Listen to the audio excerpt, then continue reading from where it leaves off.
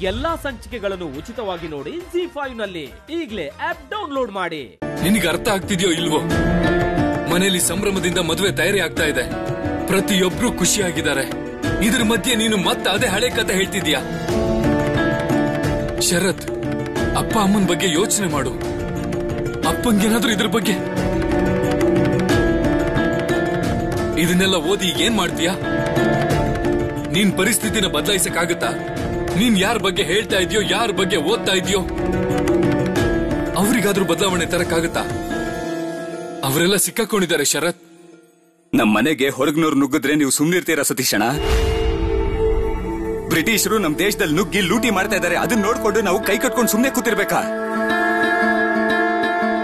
ಶರತ್! ಸತೀಶ್! ಸ್ವಲ್ಪ ಒಳಗ್ ಬರ್ತೀಯಾ? ಇಲ್ಲಿ ಜುಬ್ಬ ದಳತೆ ನೋಡ್ಬೇಕು.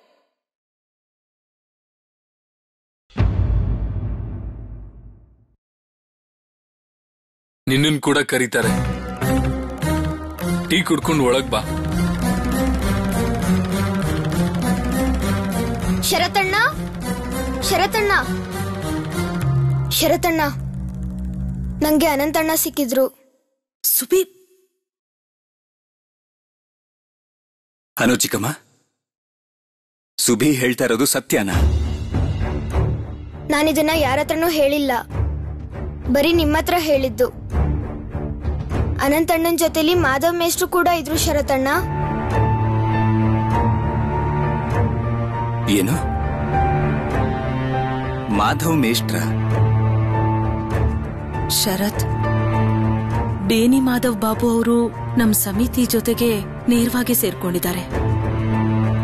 ಅವ್ರು ನಮ್ಗೆ ತುಂಬಾ ಸಲ ಸಹಾಯ ಮಾಡಿದ್ದಾರೆ. ಮೊದಲು ಅವರು ಎಲ್ಲಿದ್ರು, ಅನಂತ ಅವ್ರು ಕೂಡ ಅಲ್ಲೇ ಇದ್ರು. ನಿನಗೆ ಈ ವಿಷಯ ಗೊತ್ತಾ ಶರತ್? ಎಷ್ಟೋ ಜನ ಮುಂದೆ ನಿಂತು ಹೋರಾಟ ಮಾಡದೇ ಇದ್ರು. ಯಾರಿಗೂ ಗೊತ್ತಾಗ್ದೇ ಇರೋ ಹಾಗೆ ದೇಶಕ್ಕೋಸ್ಕರ ಹೋರಾಟ ಮಾಡ್ತಿದ್ದಾರೆ. ನೀನ್ ಹೇಗೋ, ಸುಭಾಷ್ ಹೇಗೋ ಅವರು ನಿಮ್ ಹಾಗೇನೆ.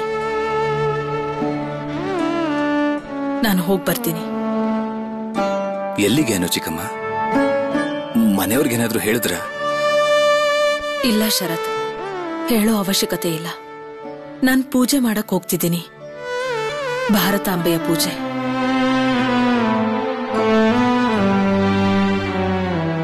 ಅನು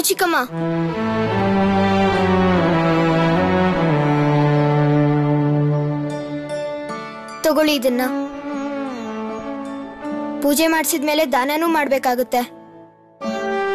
ನೀವಿದನ್ನ ನನ್ನ ಪರವಾಗಿ ಯಾರಿಗಾದ್ರೂ ದಾನ ಮಾಡಿ. ಭಾರತಾಂಬೆಯ ಪೂಜೆ. ಸರಿನಾ? ಸರಿ.